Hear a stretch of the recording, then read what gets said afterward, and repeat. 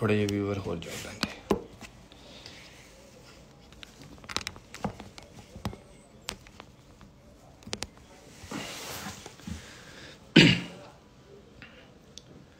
ਸਤਿ ਸ਼੍ਰੀ ਅਕਾਲ।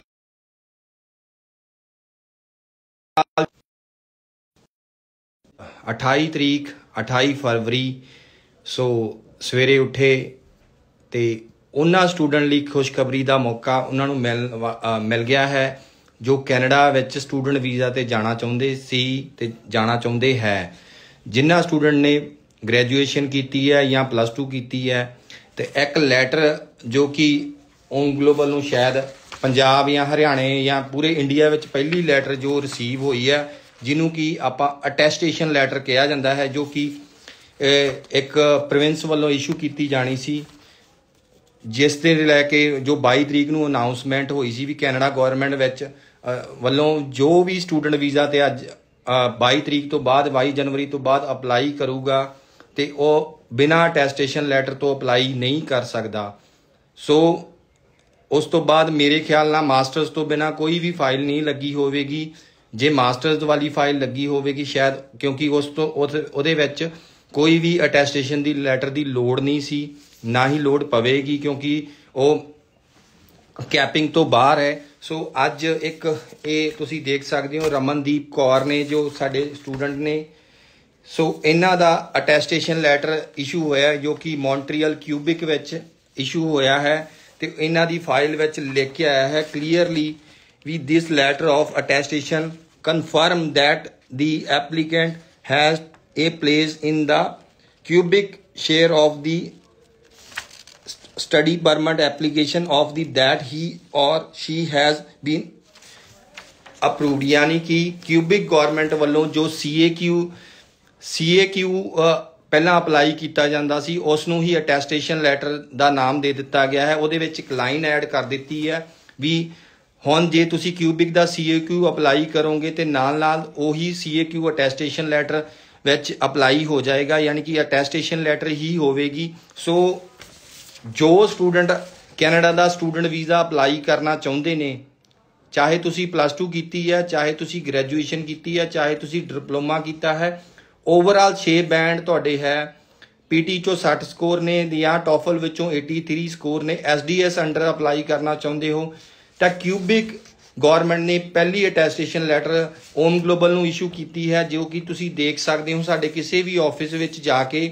ਸੋ ਜਿਹੜੇ student plus 2 ਪਾਸ ਸੀ, ਉਹਨਾਂ ਨੇ ਵਿਆਹ ਕਰਵਾ ਲਿਆ ਸੀ, ਉਹ ਸਪਾਊਸ ਵੀਜ਼ੇ ਤੇ ਆਪਣੇ ਨਾਲ ਡਿਪੈਂਡੈਂਟ ਜਾਂ ਬੱਚਿਆਂ ਨੂੰ ਲੈ- ਨਾਲ ਲੈ ਕੇ ਜਾਣਾ ਚਾਹੁੰਦੇ ਨੇ। ਜੋ ਮਾਸਟਰ ਵਿੱਚ ਐਲੀਜੀਬਲ ਨਹੀਂ ਬੈਚਲਰ ਵਾਲੇ ਸਟੂਡੈਂਟ, ਉਹ ਵੀ ਅਪਲਾਈ ਕਰ ਸਕਦੇ ਹੋ। ਸੋ ਹੁਣ ਤੁਹਾਡੇ ਕੋਲੇ ਮਈ ਇਨਟੇਕ ਵਿੱਚ ਜਾਣ ਦਾ ਸੁਨਹਿਰੀ ਮੌਕਾ ਹੈ। ਤੁਸੀਂ ਓਮ ਗਲੋਬਲ ਦੇ ਕਿਸੇ ਵੀ ਬ੍ਰਾਂਚ ਵਿੱਚ ਪਹੁੰਚ ਕੇ ਅੱਜ ਹੀ ਆਪਣੀ ਅਟੈਸਟੇਸ਼ਨ ਲੈਟਰ ਅਪਲਾਈ ਕਰੋ। ਕਿਊਬਿਕ ਵਿੱਚ ਫੀਸ ਆਫਟਰ ਵੀਜ਼ਾ ਦੇਣਾ ਚਾਹੁੰਦੇ ਹੋ, ਉਹ ਵੀ ਆਪਸ਼ਨ ਅਵੇਲੇਬਲ ਹੈ। ਸੋ ਜੀਆਈਸੀ ਵੀ ਆਫਟਰ ਵੀਜ਼ਾ ਦੀ ਆਪਸ਼ਨ ਅਵੇਲੇਬਲ ਨੇ। ਤੁਸੀਂ ਆਪਣੇ ਸਪਾਊਸ ਦੇ ਜਾਂ ਸਿੰਗਲ ਵੀ ਜਾਣਾ ਚਾਹੁੰਦੇ ਨੇ।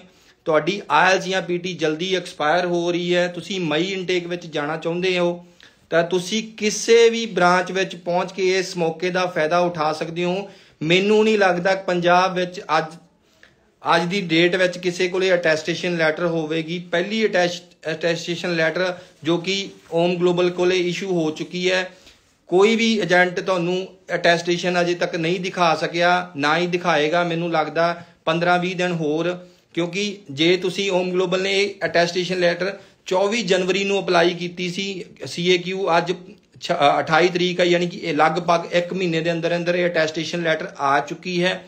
ਇਹ ਸਟੂਡੈਂਟ ਦਾ ਹੁਣ ਆਪਾਂ ਵੀਜ਼ਾ ਅਪਲਾਈ ਕਰਾਂਗੇ। ਲਗਭਗ ਵੀਜ਼ਾ ਵੀ ਅਟੈਸਟੇਸ਼ਨ ਦੇ ਲੈਟਰ ਦੇ ਨਾਲ ਨਾਲ ਹੀ ਪ੍ਰੋਫਾਈਲ ਦੇ ਅਕੋਰਡਿੰਗ ਹੀ ਸਮਝਿਆ ਜਾ ਰਿਹਾ ਵੀ 90% ਉਦੋਂ ਹੀ ਕਲੀਅਰ ਹੋ ਜਾਂਦਾ ਹੈ ਵੀ ਅੱਜ ਦੀ ਡੇਟ 'ਚ ਵੀਜ਼ਾ ਲੱਗਣ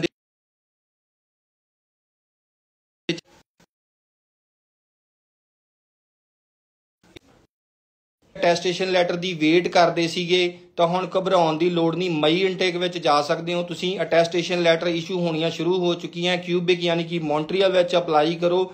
ਬਿਨਾਂ ਕਿਸੇ ਰਿਸਕ ਦੇ, ਕੋਈ ਵੀ ਪੈਸਾ ਤੁਸੀਂ ਐਡਵਾਂਸ ਨਹੀਂ ਤੁਸੀਂ ਅਪਲਾਈ ਹੋ। ਸਾਡੇ ਕਿਸੇ ਵੀ ਆਫਿਸ ਚ ਵਿਜ਼ਿਟ ਕਰਕੇ ਜਾਂ ਫਿਰ ਕਾਲ ਕਰਕੇ 92167 92167 92161 92167 ਤੇ ਕਾਲ ਕਰਕੇ ਅਪਾਇੰਟਮੈਂਟ ਲੈ ਕੇ ਤੁਸੀਂ ਅਪਲਾਈ ਕਰ ਸਕਦੇ ਹੋ ਸਾਡੀਆਂ ਬ੍ਰਾਂਚਸ ਜਲੰਧਰ, ਅੰਮ੍ਰਿਤ